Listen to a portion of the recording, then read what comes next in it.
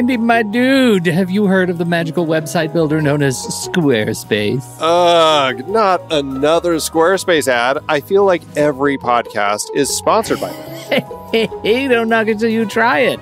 Yes, okay, it is overhyped, but actually, it lives up to the hype. Squarespace is like a website fairy godmother. With a click of a button, your site transforms into a beautiful masterpiece. A website fairy godmother? That sounds interesting. What makes it so magical? Well, for starters, those slick templates make anyone look like a professional web designer. Pick one, customize the colors and fonts to match your brand, and voila. Plus, the drag and drop fluid engine is so easy, your grandma could build a site on Squarespace. Well, she did knit me a lovely scarf last Christmas. Maybe website design is next. Exactly. And when you're ready to sell your Nana's handmade scarves online, Squarespace has built in e commerce. Add a store with one click, get flexible payment options, then watch those sales roll in. And when she wants to teach others her steezy scarf skills, Squarespace's new courses feature is just the ticket. Nana can set up her curriculum and enrollments and payments in a snap and become the next e knitting influencer. Oh, wow, you really sold me with the grandma angle. Sign me up for that free trial.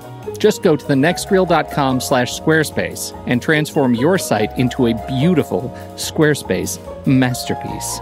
Well, thanks, Pete. Even though it's overhyped, Squarespace actually sounds perfect for Nana's site's needs. Appreciate the warning on the ads, though. I'll brace myself next time I listen to a podcast. Anytime. Let me know if you need any help getting that site up and running.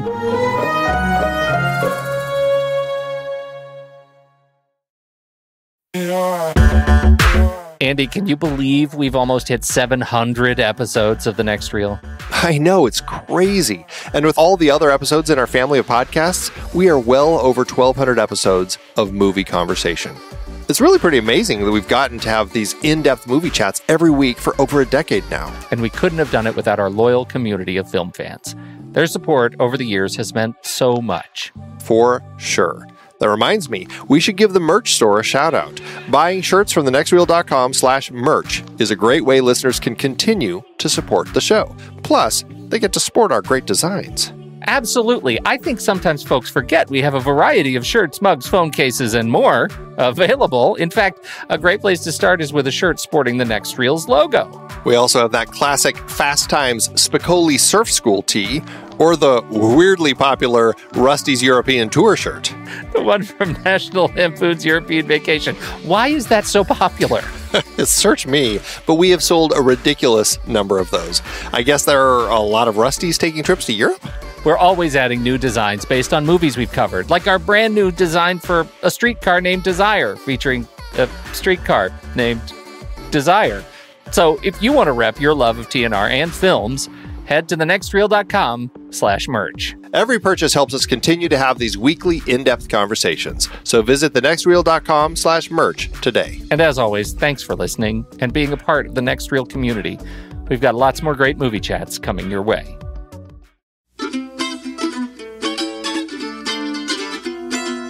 This is the next reel, everybody. I'm Pete Wright, and that there is Andy Nelson. Hey, hey, hey. And we spoil movies. Tonight on the show, we're continuing our Zhang Yimou series with his 1991 film, Raise the Red Lantern. Before we get into that, you should learn more about us at thenextreel.com. Subscribe to the show in your favorite podcast app or join us on YouTube and follow us on Twitter and Facebook at The Next Reel. And if you've ever wished for the spinach and bean curd, then it sounds like your diet is just right for The Next Reel's Instagram hashtag Guess the Movie Challenge. And with that, since Games Master Steven Smart is busy eating his dinner of chrysanthemum moss hair, thrice fried mushrooms, and heart of cactus, I'll fill you in on who won this week. The movie was Trance, directed by Danny Boyle from 2013, starring James McAvoy, Rosario Dawson, and Vincent Cassel. Congrats to Ad Fegfi, who figured it out. And we've got a blot spot. Uh, friend of the show, Ben Lott, has written in with his rebound on Ju Dou. Judo is visually beautiful once you get past the bad DVD transfer. The story is like a Shakespearean play and has a lot of good dramatic moments. I thought it was interesting how my opinion of the protagonists shifted as the movie progressed. It was a little slow to get started and might have been a bit too melodramatic, but I like Zhang Yimou's style. Your rank 80, my rank 101. Well, that's pretty close. I think that's a great start for this series. You know, I this is one I wasn't quite sure uh, what Ben Lott would think, but it's uh, Yeah. great to hear that uh, that he enjoyed it. I love that he captured that word melodrama. It's the one word I needed last week, but couldn't put my mouth on it. melodrama. That w- climbing down the stairs head first. That's melodrama. Well, that's also after you've been you know sleeping in a pit of poison. You know. Potato, potato. Andy, it's time. Let's do trailers.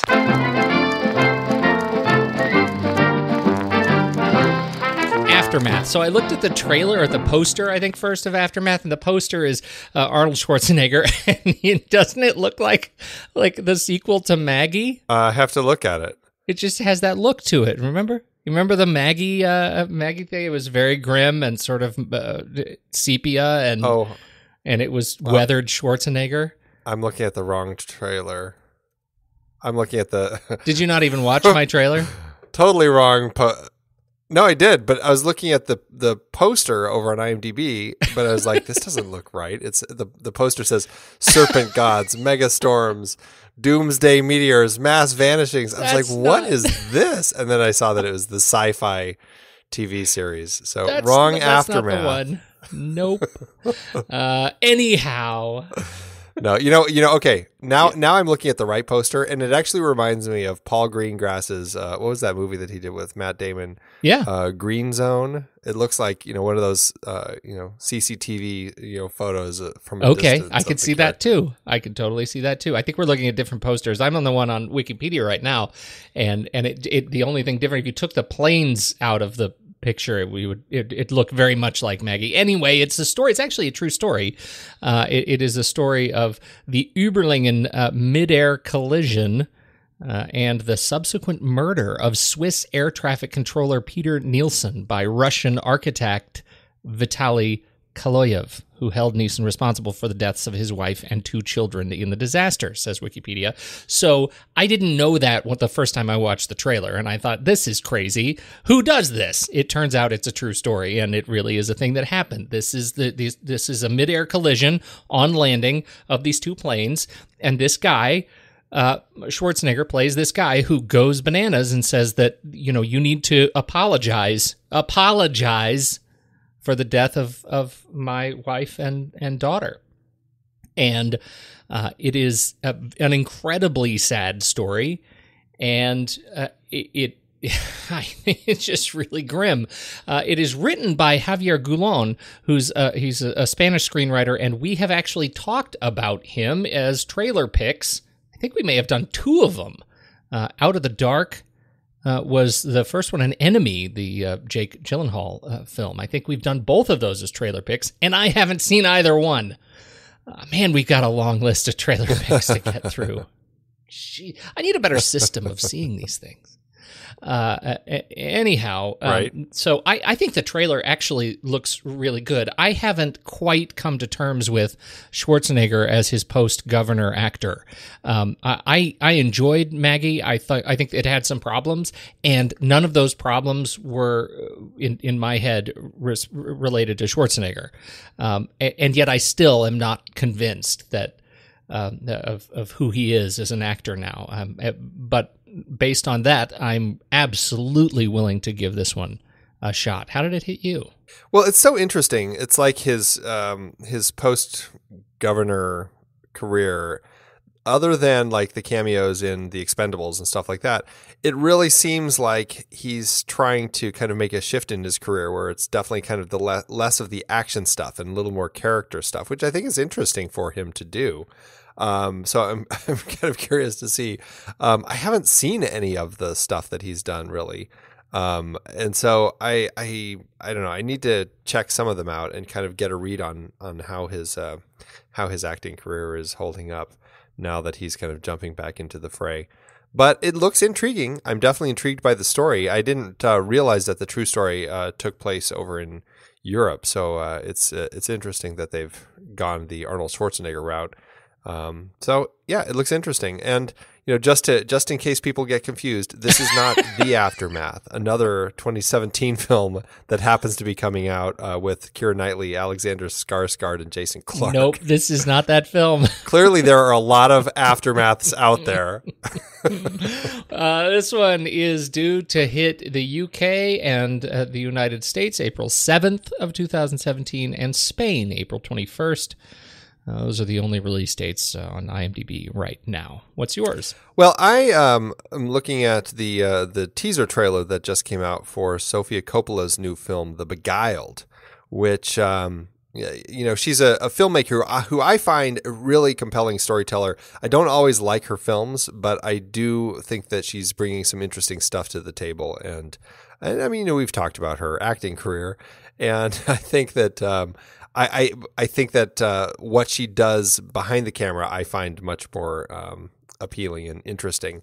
This film, um, I have seen the Don Siegel uh, version of this story. It's based on a novel by Thomas Cullinan, um, and it's a it's about a Confederate soldier who gets imprisoned in this kind of Confederate girls' uh, boarding school. I mean, he's a Union soldier, sorry, and um, he kind of cons his way into uh, these girls' hearts, and and they start falling for him, and he gets them to turn on each other, and eventually they turn on him, and it's it's a really interesting story. And Don Siegel directed it with uh, Clint Eastwood, and I think it was Geraldine Page back in '71, and that version was really kind of um, uh, disturbing, and it was just really interesting uh, story that just kind of uh, really unsettled me.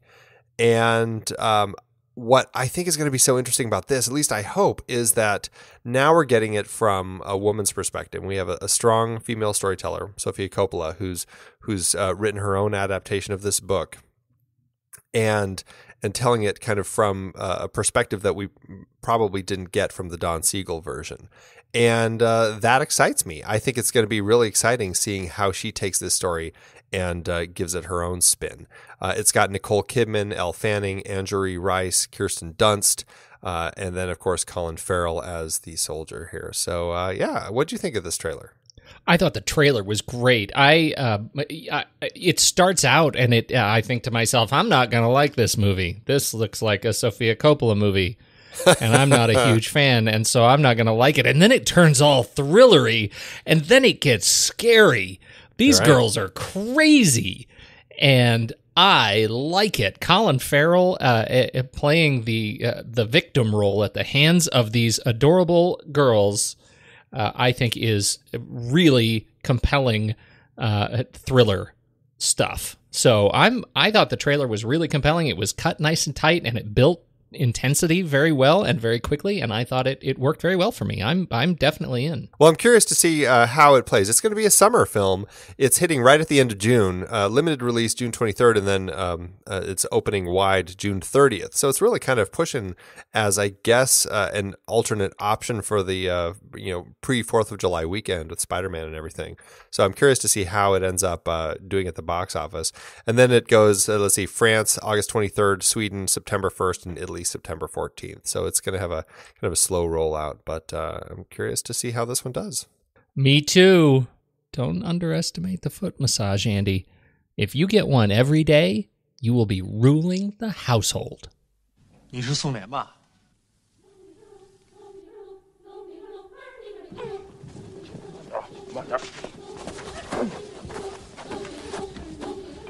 Raise the red lantern, Andy. Raise it. It's up. Is, I raised it, it already. up. Raise it high. You are the lucky winner, Andy. the red lantern's going on your house. This is uh, Zhang Yimou's 1991 story of many wives and one faceless husband.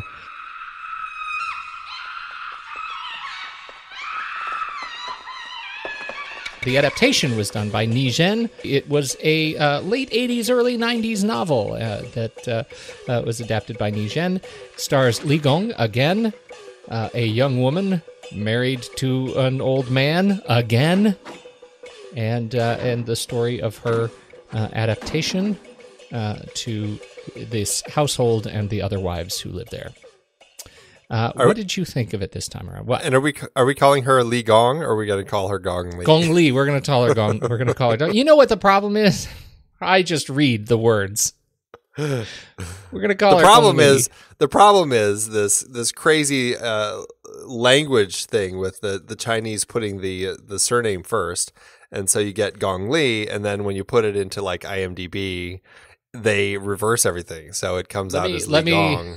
let me be very clear, Andy. There are more than the, of them than there are of us. Therefore, we are the crazy ones. I know. It's, well, it's just it's a world. It's going to be a worldwide problem. It's just It is. Yes, It's- it is it's a global problem. And the frustrating thing is when there are ones that are done correctly that you know, Yeah. okay, well, I know it should be Gong Li, at least the way that that we say it.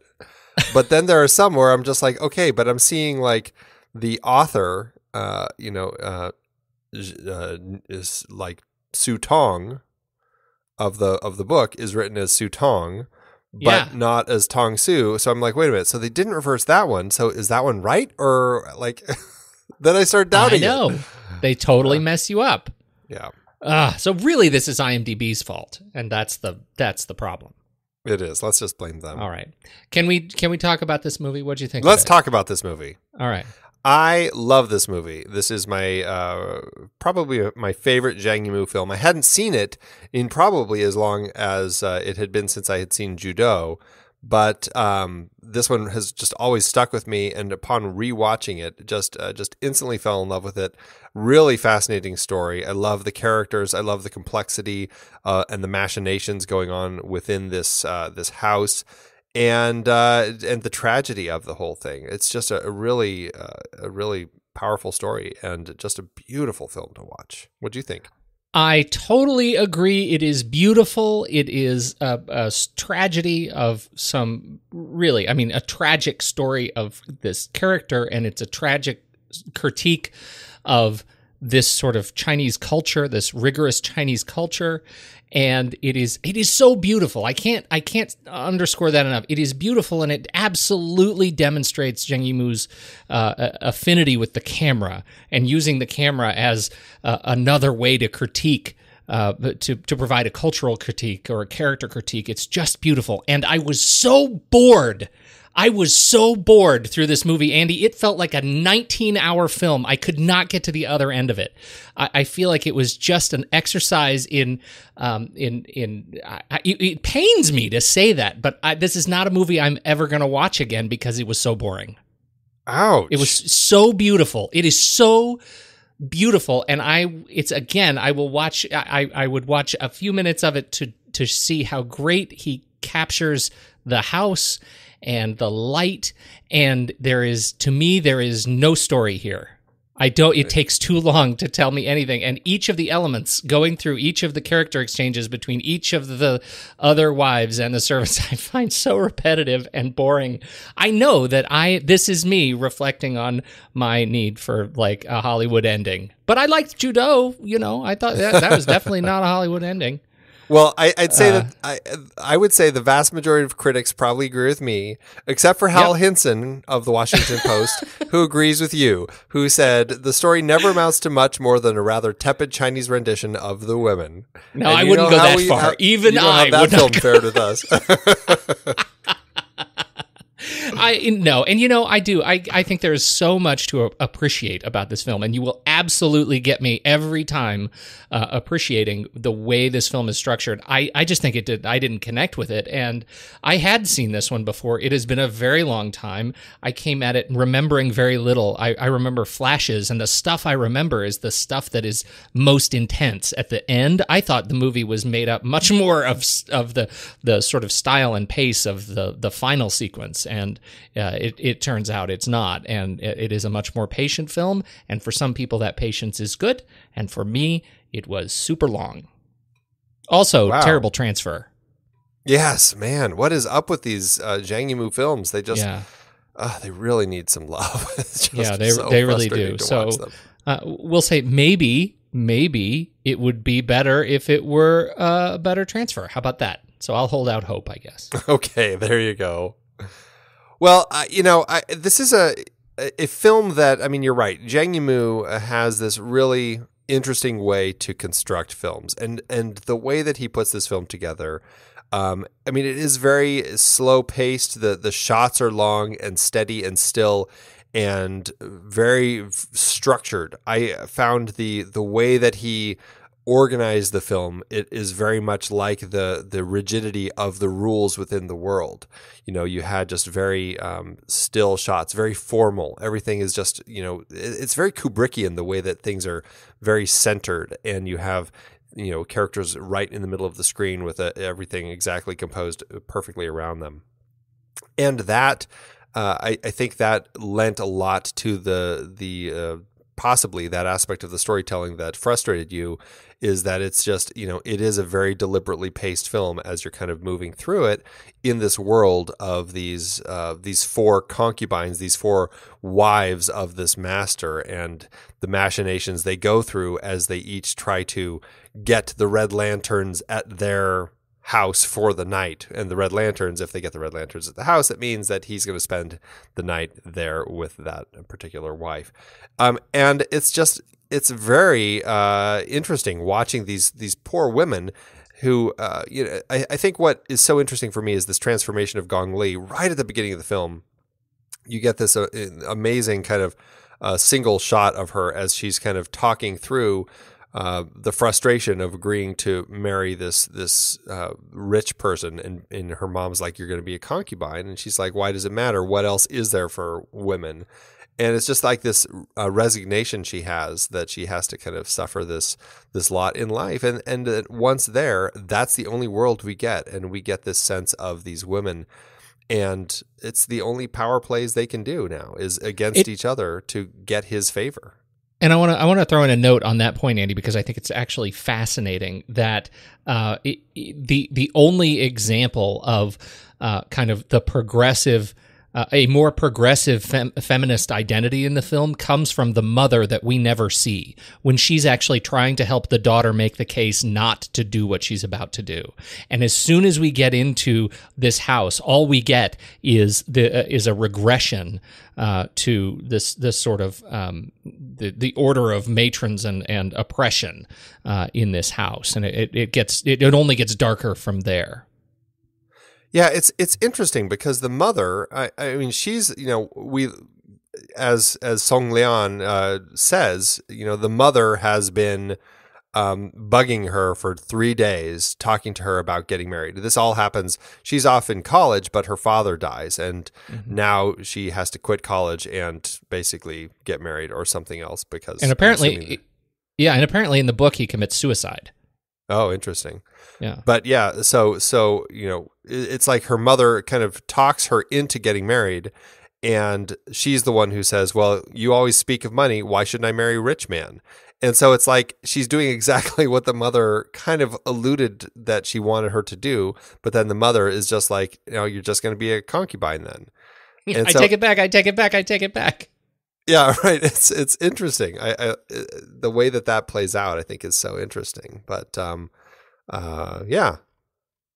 So eh, you know, one of the things that I think is really uh, fascinating about this, I mean, to your point, when she st- sets foot onto the grounds, she almost immediately loses her identity. Right? She goes from Song Lian and and, and gets this sort of uh, moniker of fourth wife, right, or fourth sister, fourth mistress, yeah, fourth, fourth mistress, or fourth yeah. aunt, or whatever they call. Yeah. You know, they they end up calling her. But it's it's you know f- more frequently she is addressed by fourth something than she is addressed by um, you know by her name right it, it's less it, it's almost less than of an identity than it is for the servants who who have names um, and and she you know doesn't as much. And i think that's a that's an interesting twist that we get. It's she is it, it is a reflection that she becomes a servant herself. It's just a different kind of servant uh, in this um, in this environment yeah, no, and that is very true. Um, you know, you know, it's such an interesting character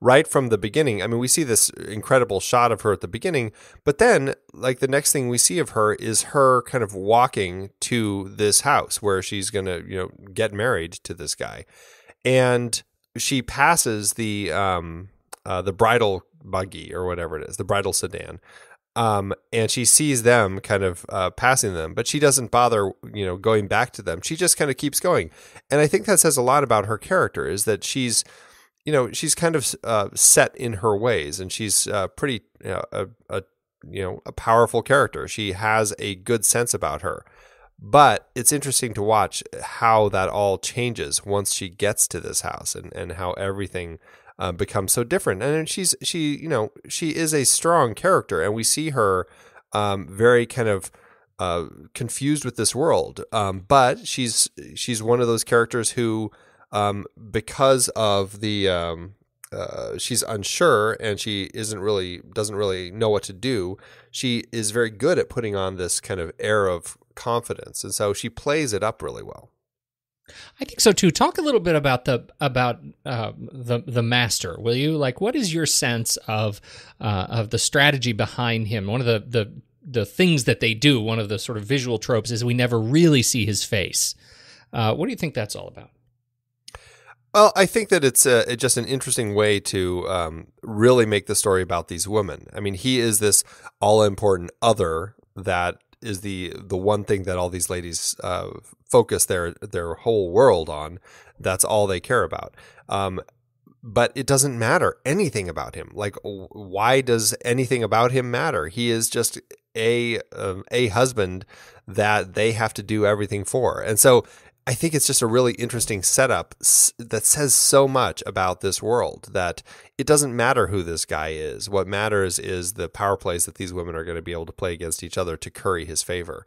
Um, and I think because of that, it's made it open for a lot of people to really put their own interpretations on this film. I mean, Zhang Yimou has kind of de- denied a lot of the interpretations, but everybody looks at it as you know criticism of contemporary China how you know the the wives are a metaphor uh, for or the the um, the fragmented civil society of post cultural revolution China. Um, another critic, uh, James uh, Berardinelli, said uh, that Song Lian is the individual, the master is the government, and the customs of the house are the laws of the country. It's an archaic system that rewards those who play within the rules and destroys those who violate them. So I think the way that Zhang Yimou tells the story with the master being this kind of faceless man that these women are kind of um, doing everything to uh, get the attention of allows people to uh, to put their some interesting interpretations on the film, which I think I, I think is a sign of a good filmmaker um, doing some interesting stuff with his story that allows people to dig like that. I think so too. I you know the house for me is is the thing I really latched onto. First of all, it's an amazing facility, right? It's one of these uh, fantastic courtyard houses, right? When you look at the Forbidden Palace, you know Empire of the Sun, right? Those are that is the biggest of the and the most amazing of the courtyard house. But this was the the sort of uh, you know the the vested landowner, um, you know, house of ages uh, in in this period, and and for you know thousands of years they built these incredible incredible uh, facilities, like mazes of, of buildings that are all not attached to one another, only attached by pathways, right? And uh, and surrounded by a giant wall. And that wall is really symbolic, right? Because it's supposed to when you take these, uh, when when the the owner of the house takes these women into the as, as his wife, the promise is and the ideal, this sort of ideology of the walls uh, is is that it protects the women from all the ills of society. Right? It keeps them um, it keeps them pure. It keeps them honest. It keeps them out of trouble. It keeps them healthy, uh, and all of those things. And then you have this film, which shows a a palace that is apart from the red lanterns. It, it shows a palace that is uh, gray, right? It's colorless, it's soulless, it is empty, but for the the servants that we see and these wives and the landowner that we don't actually see his face, right? It is falling apart it is far from the aspirational sort of purity of the women who occupy these roles. In fact, all they aspire to is darkness. And and again, to your point about you know what we ascribe to this film, the meaning that we ascribe to this film is, you know, potentially is this a critique of the fall of the Chinese cultural value system, right? The fall of the communist value system. When we look at what is supposed to be so pure and such a, a, a grounded uh, foundational element of family that is actually falling apart. And and even Chen, the the owner, uh, it, it comments on it multiple times on on you know the way the women behave with one another. Uh, in the film, it, it it's making a statement in and of itself. I can see why Yimou would not want to make any, uh, would not want to sort of accept any of the, you know, parallels that his filmmaking might have to the Chinese system. But it's kind of hard not to not to make those comparisons. Well, and it didn't help the film get uh, uh, banned. You know, I mean, the script had been approved and everything, but it still ended up getting banned for a number of years because yeah. uh, clearly people were able to see quite a bit of stuff in the film. Um, so you know, I, I, it's interesting uh, the way that he uh, tells his stories. I think that he gets a lot in there. Yeah. And going back to what we talked about last uh, last week with Ju Dou, this film is full of rituals and there's just so much uh, interesting stuff going on all these traditions and rituals and, and just these things that people follow the customs it's it's such an interesting world and uh, you know, I was thinking about uh, that article that you brought up last week, and just thinking about, you know, we are constantly talking about world building on this show, and it's like these are uh, nothing more than than other great tools that than a, a, storyteller is using to kind of build their world. So again, it just kind of was like you know, it irks me that article that you brought up because I'm like, there's, it's why can't a person put these interesting details in a story? It's, it was so frustrating. But uh, again, and this is full of this amazing world building. I uh, this is the, uh, to your point exactly. I'm first of all, I'm really glad that you were able to stew on that over the week because it makes me yeah. really happy to bring a resource that causes you that causes you some cycles so much consternation. yes, consternation on this. You, you know the the I told you last week that the author had some problems, particularly with the the situation of the feet in this movie. You, you got to come to the feet with this movie because so much about um, sort of the the ritual starts with the feet. It start starts with how the feet are portrayed in the film, and um, you know the the wife, the new wife that comes in. Uh, we should talk, I think, briefly about the the rules of the of the uh, house that uh, each night, um, uh, much like Oprah giving away a car, uh, it is announced which wife the husband will spend the night with.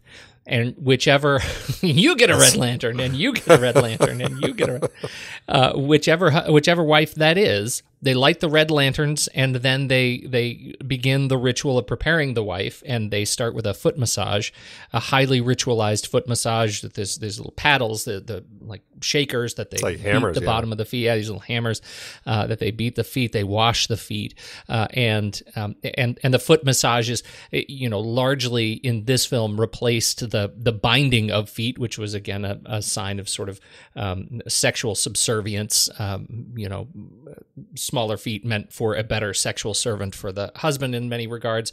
Uh, and so um, that's that's what this is. The ritual leads specifically to a story element that is important for the film right? And that's why the criticism that we talked about last week that the foot massage actually uh, it, it simply celebrates a hyper orientalization. It is a market driven, uh, sensationalized view of the exotic Orient that is merely designed to fill a hungry Western need for this exoticism. That's why I think this argument falls apart in this film because if you don't have that, if you don't have that cultural, uh, the the the positioning of the feet as a cultural element, as a ritual element, I don't think you understand uh, as well what is going on in their relationship. And as you see all of the women sort of progressively, except for first wife, I think go through this in some way, shape, or form. You, uh, you get to see that they're all servants in that regard, even though they're taken care of. They're serving a specific need. I don't think you get it without it. I think you're right yeah. to be be frustrated. Uh, yeah, I mean all of it. I mean even down to the food, picking the meal you know, because that becomes just as important. The the wife who uh, gets the husband that night gets to pick the meal, and that becomes a, an issue of contention with Song Lian because she really wants her uh, what is it, bean curd and spinach or whatever yeah. it is. I can't yeah. remember. And uh, and uh, third wife wants uh, meat. You know, she doesn't want to just have a bunch of vegetables, and so it just is another interesting issue of contention. And I love how even we get a shot uh, of the cooks in the kitchen annoyed by you know like these customs, but like everybody else, it's just like well, you know, it is what it is. We just got to go along with them. It's it's an interesting way to play like all of the stuff that these people live by, even down to uh, the the uh, I can't remember what they called it, but the the death house that's up on top Yeah. of the roof. Murder and- house. right the rules that uh, go along with that and and uh, you know what uh, why uh, somebody might end up back up in there uh, just a lot of really interesting things to keep everybody in line to keep everything exactly as uh, as society i suppose says that it must be back in uh, 1920s china You want to talk about about Yanner? Yanner? yar Sh- they always sh- say y- yar is how it sounded like they would say it yar yeah, it's a yeah, it's kind of a swallowed Yar. consonant. Yar. Yeah Um, this is a it's a really interesting relationship. The, this is the character is uh, is Song maid. Uh, is also the first character that she meets who um, sort of shuns her. They have a little spat. They never really get on very well. nope never This ain't no sisterhood of the traveling pants. I'm telling you that. no, yeah, it, her, her- It's a really interesting relationship here.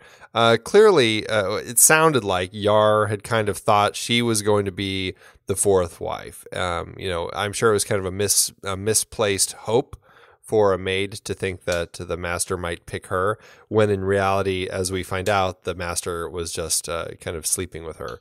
Um, and uh, you know, it was an interesting uh, character uh, relationship between her and Song Lian, and ho- how all of their uh, just the, the animosity that Yar felt for Song Lian um, really kind of unfolded, and, and we learn, you know, that she has in her little maid's quarters, she has uh, kind of taken all the red lanterns that have been broken and has created her own little uh, dream world surrounded by red lanterns, where she's got her little voodoo doll.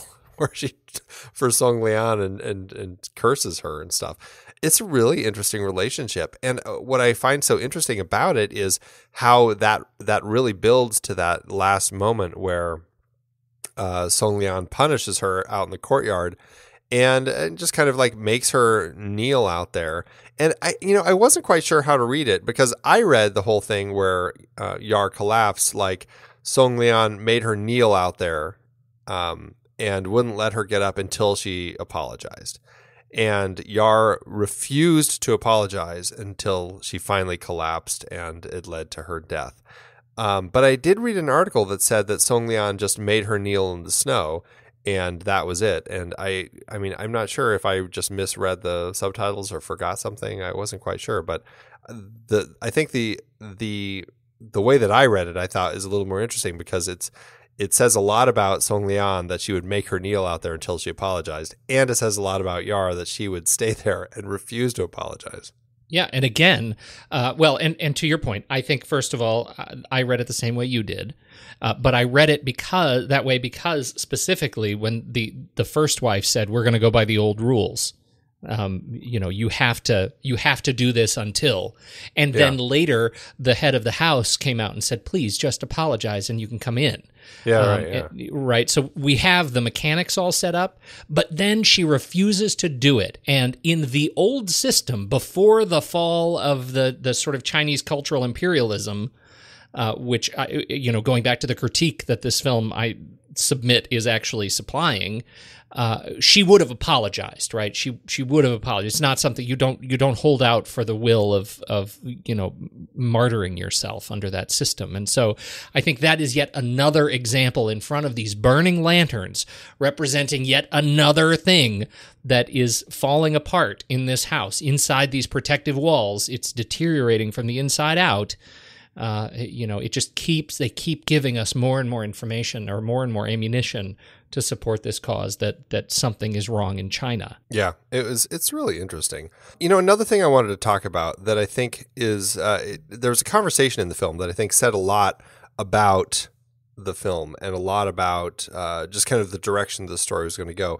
There was a conversation between Song Lian and the third wife, um, Mei Shan, and it was about how women really don't amount to anything in this house. And it's all it's this this game that they have about having to fool the others. And if you can't fool them you have to fool yourself. And if you can't fool you or yourself all you can fool is the ghosts. And this whole idea that ghosts are people and people are ghosts.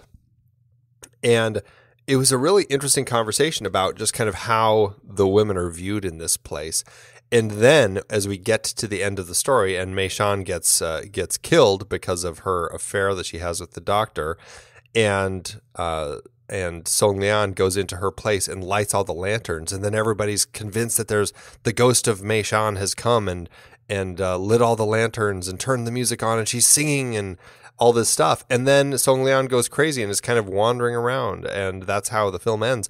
It's it's interesting how this whole idea of people are ghosts, ghosts are people really kind of ends up uh, foreshadowing this ending where Song Lian kind of becomes Mei Shan's ghost and kind of her own ghost, uh, kind of this shell of herself as she's kind of wandering the the uh, the um, passageways, uh, kind of gone crazy and I just think it says that you know this is this is this interesting world where if you can't fit into this system, it's just going to crush you and leave you this kind of uh, floating outsider, and you're not going to be able to uh, to be a part of it anymore. It's uh, I don't know, it's really haunting, but I, I, I like that they have that set up in there. I do too. It goes back to this uh, the sort of uh, I guess the the hierarchy of suppression of women's independence over time in China. Right at this period, uh, girls obey their fathers, women obey their husbands, widows obey their eldest sons, and when there are no more men around, elderly women just oppress younger women. Like they are the sort of uh, aspirations of suppression and, and oppression of of will. It is a horrible thing. When you look at the the major, you know, the the women in this film, one of them ends up wandering around around uh, as a sort of zombie. Uh, the uh, one of them is remains the sort of I uh, you know crazed sort of dominant sex slave. One of them, we got a new one who's about to become that, the fifth wife. We know what she's about to become. And we have the first wife who has just become a shell of herself. They all end up being ghosts in their own sort of different way. This movie doesn't leave anybody left who isn't who, who you can't make a case is uh, a ghost right, of their former self. And I, I think that's uh, that's fascinating. It's hard for uh, me to believe that Zhang Yimou says that he wasn't putting any symbolism in this. It seems to get harder and harder, right? the more we talk but uh, yeah, but I love that, and and I think you're right. He probably was saying some of that, perhaps uh, in in the context of his country um, trying to avoid it getting banned, and of course it didn't work. But um, but I just think that it's uh, an incredibly powerful story, and uh, I, I love all of this stuff that it is saying. Want to jump into first shot, last shot? Sure, yeah. Uh, the first shot, uh, I've kind of already alluded to it, but it's a close up of Gong Li as Song Lian in conversation with her mother, although we only ever see this close up of Gong Li, which lasts uh, just over a minute a single stop shot where she's pretty emotionless through this conversation, but you can really see she's trying to hold back some tears, which do finally come out at the end of this conversation, uh, right before some music fades up and fades to black. But this is the conversation where she's talking to her mother about, you know, she says, "You've been talking for days. I'm going to get married. I'll marry a rich man. I'll be a concubine. All that. Let me be a concubine. Isn't that a woman's fate?" As the tears drip down her face. And the last shot, we've got a series of dissolves of Song pacing back and forth uh, in her zombie state. She's surrounded by her red lanterns, and she's actually wearing the same university uniform she arrived in when you talk about closing that loop. The shots of her get further and further away until we are way above the house and we are looking down into the courtyard. Uh, you know, it says everything about uh, the structure of the society and how it takes a woman like this who is seeming to be um, a, more of a strong-willed person, but who's kind of uh, willingly kind of going to go along with the system, and how the system crushes her. I mean, that's yeah. pretty much yeah. what we get here. yeah, yeah, I think so too. I, you know, I actually think it's really uh, it, it, You know, in, uh, more than anything else, right? You just, I think you just made the point, but uh, this is one of those examples where it feels absolutely the first shot, last shot, absolutely intentional right? The the way it opens on her and the way it closes on her and the journey between those two points is the journey of her just sort of uh, leaving behind a, a, shell of what she was. Absolutely. Let's talk about the cast. Gong li a really powerful character uh, in this film uh, and it's uh, it is heartbreaking watching her driven mad. Um, it's you know it's frustrating because this is one of those films where you could see it going a direction where she starts to understand the game and she gets knocked down, but she gets back up again and uh, she becomes the essentially like the matriarch of the house. You could see the story going that way, right? Mm-hmm. And so it's very it's very uh, heartbreaking and frustrating to see it take this turn uh, as we get into the third act, where um, where uh, her friend gets killed and she's driven mad. It's not where we want to see this film go, um, but I think it really just says a lot. Um, uh, yeah, this is uh, another of her films that she's done with Zhang Yimou. This is her third film with him. Of his, uh, I think this is his fourth film. And uh, between Ju Dou and this, she did a film called God of Gamblers 3 Back to Shanghai, which I have no idea what that is, but I just wanted to say that because the title sounds so crazy. you know, isn't it interesting that of the of the and I didn't I certainly didn't see that either. I don't know if this one is is actually fits, but this is the third. So uh, these these three, right? Red Sorghum and then Ju Dou, and then this one.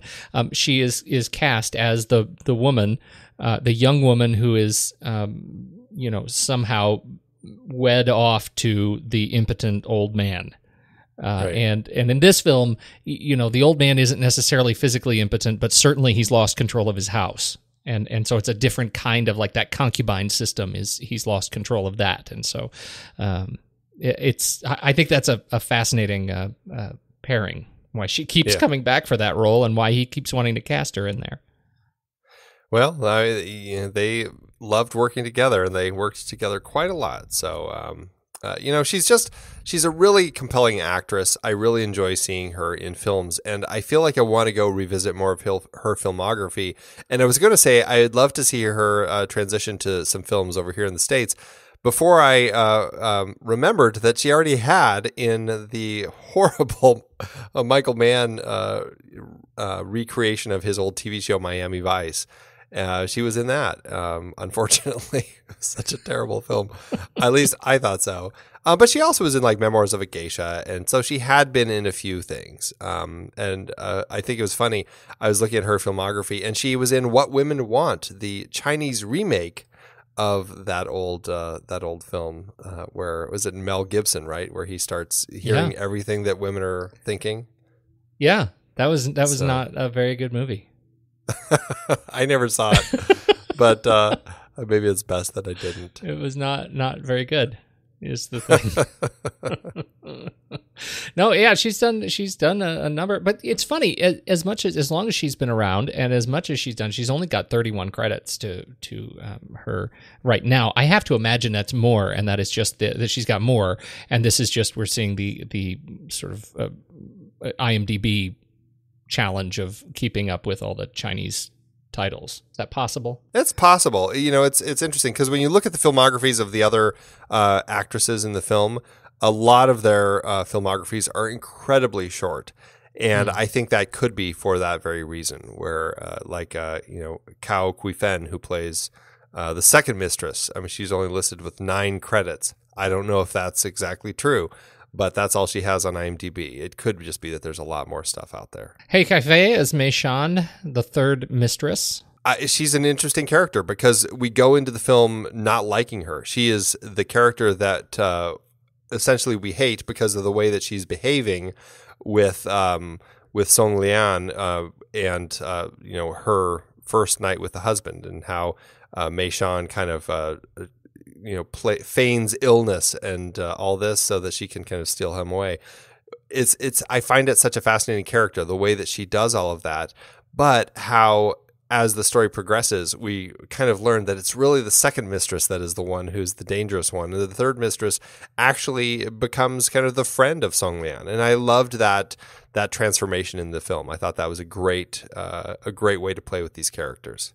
Uh, Cao Cuifen is Zhuoyun. She's the second mistress, the wicked one. And that's what I love about her yeah. because she is so nice. And she's just one of those people that you just want to hang out with because she just seems so sweet and she's doing all this stuff for you and she's giving you this this gorgeous silk and all this wonderful stuff. But really, she's the one who's like the most backstabbing and conniving. And it's uh, really interesting to see, and I like the way that they play that before and after uh, Song Lian finds out, and how things kind of shift subtly in in uh, Cao Cuifen's performance. Uh, and then we've got Kong Lin as Yaner. Yeah, she was. Uh, you know, I, I don't really have much to say, uh, but uh, it was a really interesting uh, uh, character, and I liked the uh, the performance here. Probably the same for for everybody else. uh, Is like they were really interesting performers, but looking at their credits and stuff, I just didn't get much. There's not much that I know about any of these people, but I really found them all compelling. The the only thing that I uh, the only one that I actually would wanted to talk about, uh, you know, we've and we've got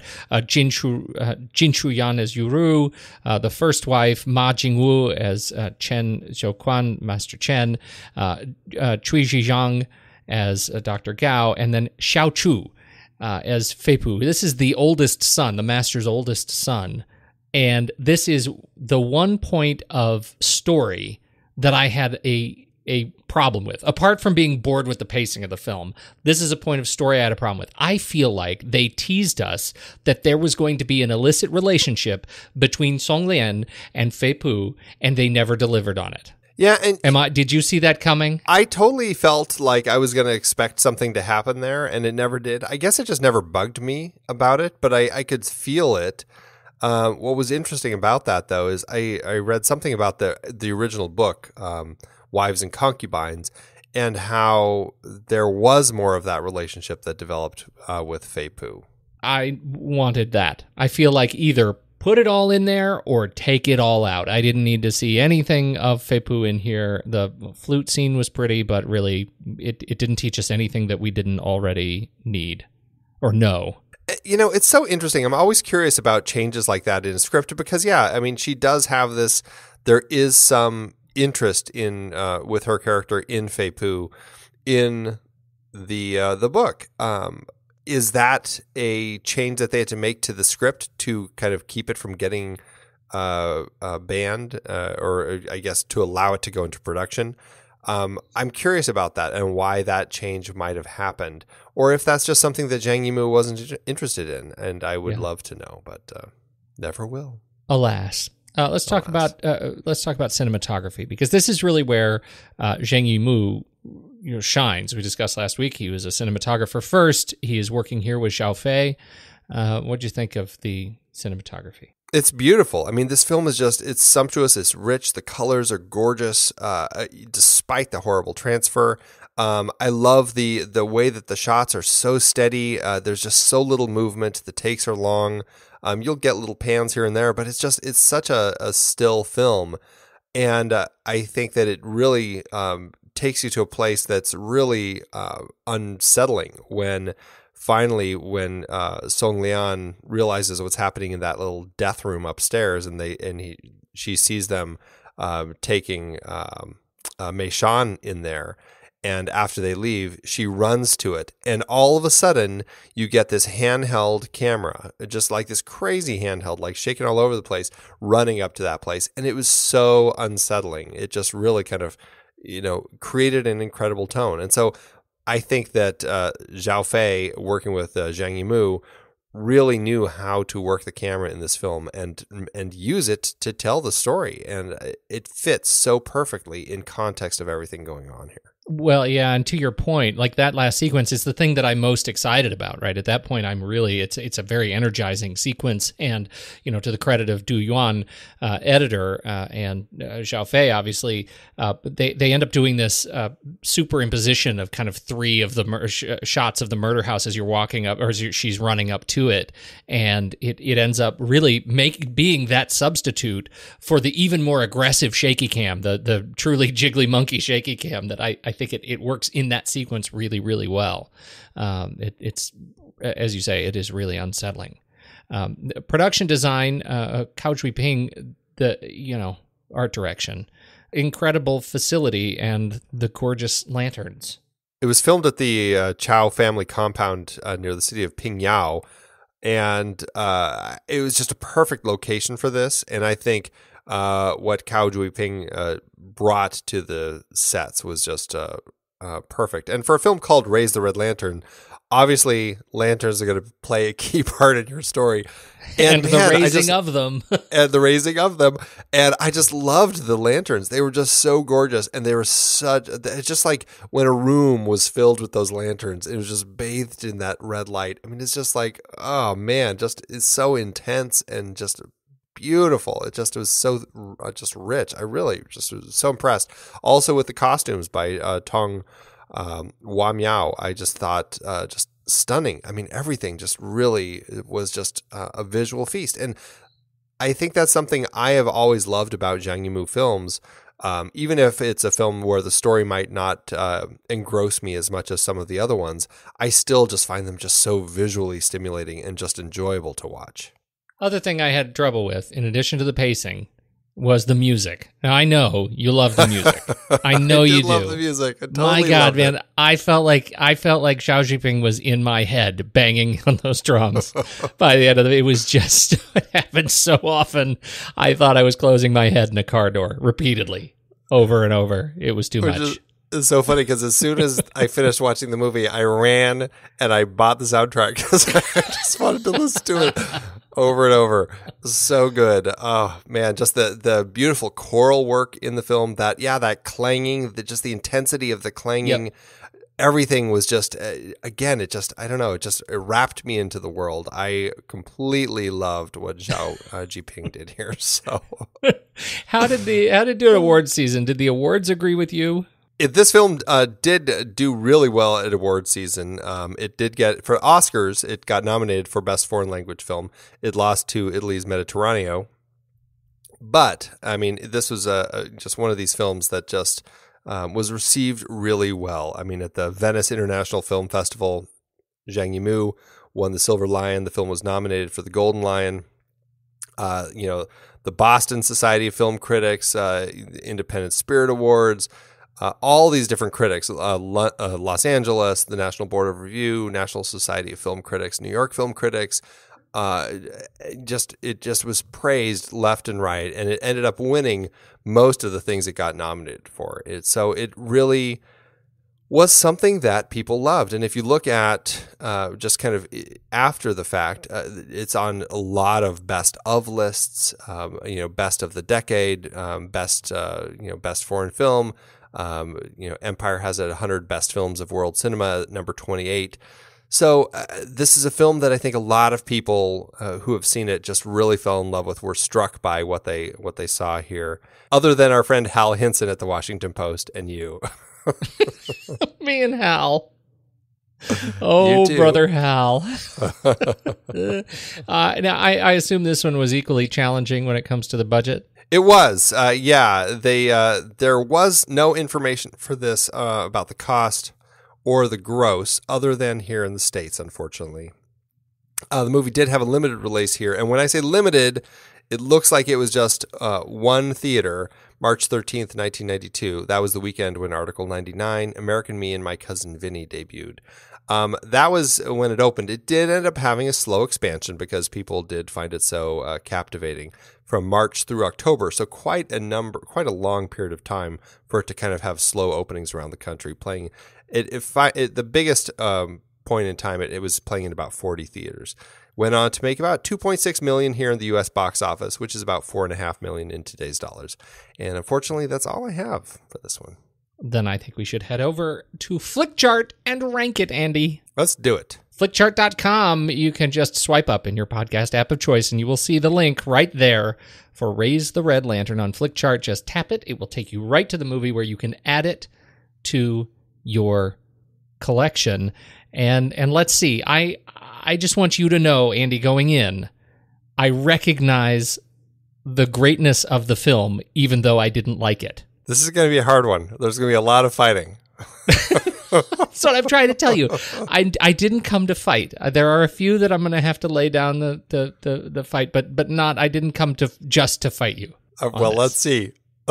First up, we've raised the red lantern or Mad Max. Raise the red lantern for me. see, Um, I, No, and and let me tell you, let me justify this because I know I was bored, and just because it's in the top half of our own list doesn't mean I have to watch it again.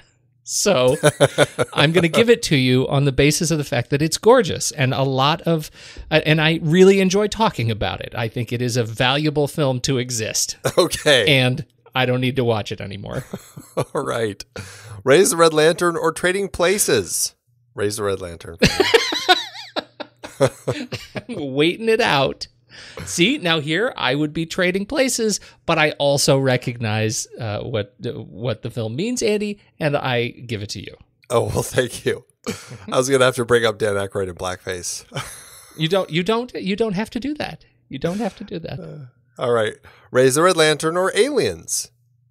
I'm I going will to say aliens. Aliens. Yes, there we go. Do you see, See? how easy that was? This has been very easy so far. Raise the Red Lantern or LA Confidential? L.A. Confidential. I'm going to say LA Confidential. Yes, you are, sir. That's right. See, we are gentlemen. Raise the Red Lantern or My Neighbor Totoro?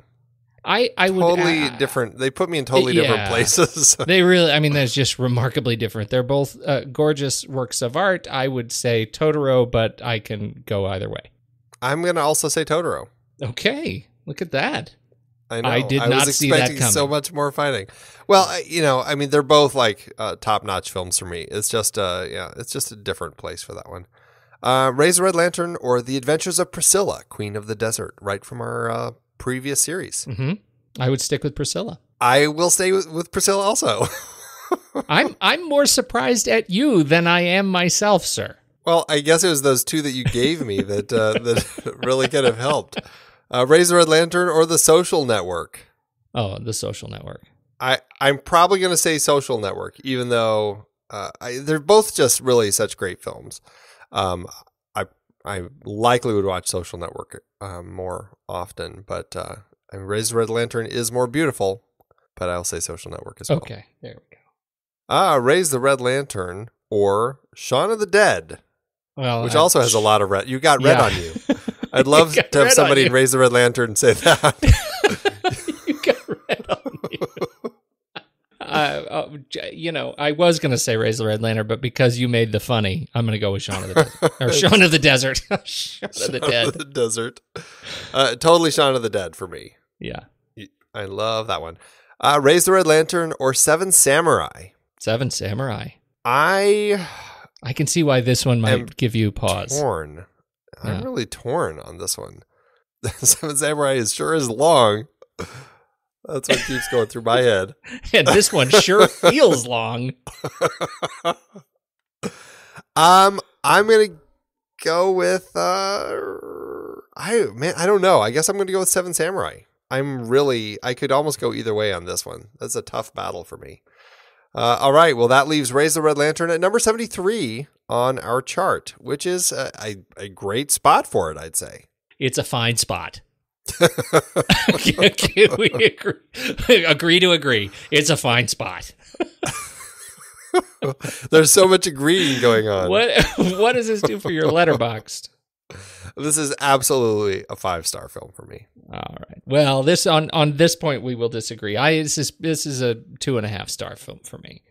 Two and a half. Yeah, yeah, it's right. Are you kidding? I kid you not. And that half star Oh. is Andy Love.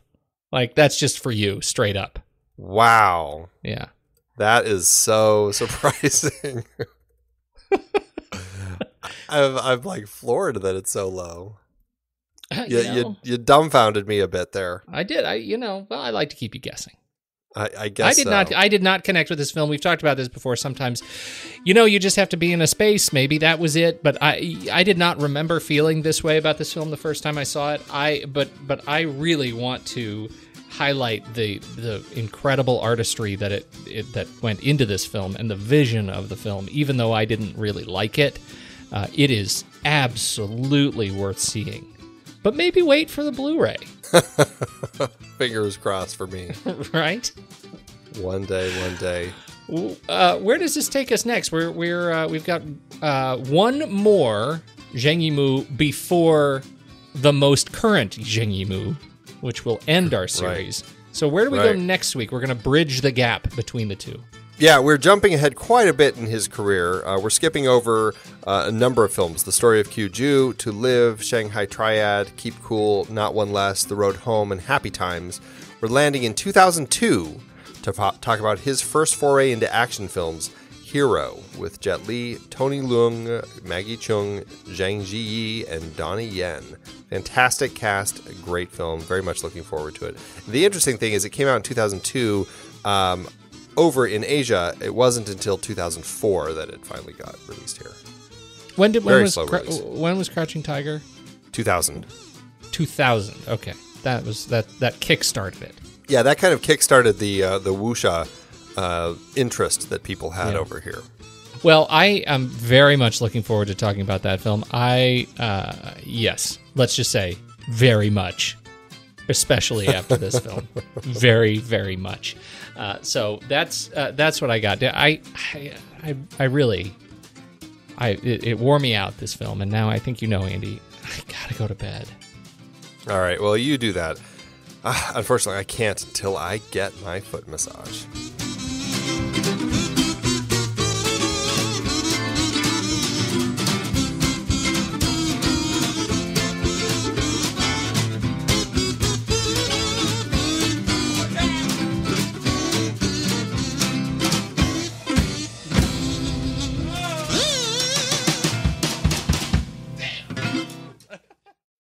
Amazon giveth, Andy. As Amazon always doeth. Uh, I, you know, I don't know. I'm gonna go ahead and and tell you mine. Can I? You tell me yours. This there, there's not a lot of uh, one or two star uh, uh, reviews for this film because everyone loves it, Pete. there is zero value to the one or two stars. They're all about how bad the DVD is, how bad the the, the transfer is. It's terrible. It's that bad. It's that Yes. bad that even Amazon reflects how bad it is. Even Amazon. Mine is, uh, which I think I can, you can tell, I picked it mostly for the title. Uh, it's Yes. five stars, five out of five. Girls Gone Wild, communist style. Who writes that stuff? So there are no young teenagers ripping off, ripping anything off for the cameras, thank God. But there are four women who are all concubines of a very rich businessman, and the things they'll do for his affection are cold, calculated, and just plain great to watch. The drama is a well-paced ride through the youngest concubine's entry into the new family to her breakdown a year later. How could that be boring? One day you're in college, the next day you're on your back. Eh, enough to drive anyone insane. Without spoiling anything, I will tell you there are lies, plots, hangings, bloodshed, drunken betrayal, and so much more. My favorite foreign film ever. Asked a lot of leading questions in that review. I'm going to go ahead and withhold answers right now. A lot of leading questions. That's just fantastic. Communist. Well, I've got a three star. Uh, I, I went with a three star that that uh, you know again there aren't really even that many good three stars. They all talk about the quality, and this one does too. But I just I liked it because uh, the well one Jeannie wrote about it. The format apparently was a VHS tape, but her. her her review says the DVD quality was good, but there were no subtitles. I watched it anyway. I had somewhat a sense of the story. Clearly enough to give it three stars oh, still. Oh, no, you didn't. no, you didn't. Oh. oh, jeez. Thanks, Amazon. It is hard to believe that we have been having in depth weekly conversations about movies since 2011. Oh, I know, you're telling me. Producing this show week after week requires a ton of work behind the scenes. If you'd like to help support our efforts, one easy way is by using our originals page when shopping for books and movies that we've covered. Just visit thenextreel.com slash originals. Your purchases made through our links give us a small commission at no extra cost to you and allow us to keep having these great conversations. In season 6, our Disease Films series had adaptations like The Omega Man, based on I Am Legend, The Andromeda Strain, Children of Men, and Blindness. I Am Legend is so much better than the Omega Man. What about the Will Smith version? Don't get me started. For our This Is Real Life Jack series, we talked Black Hawk Down and Seabiscuit, some great true stories based on fantastic books. And we had more listeners' choices like The Fly, The Emigrants, and Scott Pilgrim versus the World. You just did a series on The Fly on the Sitting in the Dark podcast. Did you read the original material? Wasn't watching every Fly movie enough?